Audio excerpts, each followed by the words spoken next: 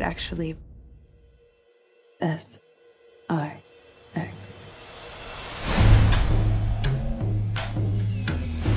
I've always known what was going to happen next.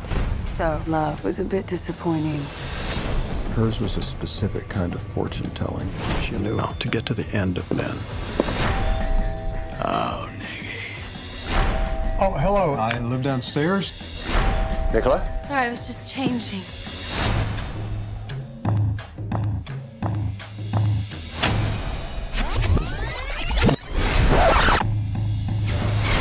Falling in love normally ends very badly with me.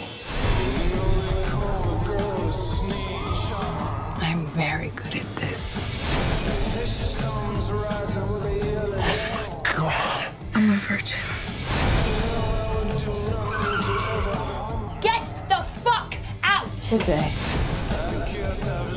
my panties, they're absolutely weightless.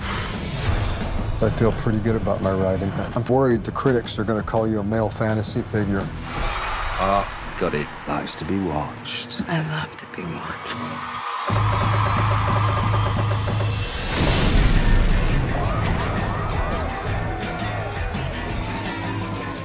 I'm sorry, I was just being jealous.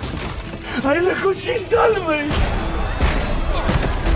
Nicola's slept with God and the devil. She told him both to get lost. You know I'm gonna fucking kill you, don't you? Shall we say eight?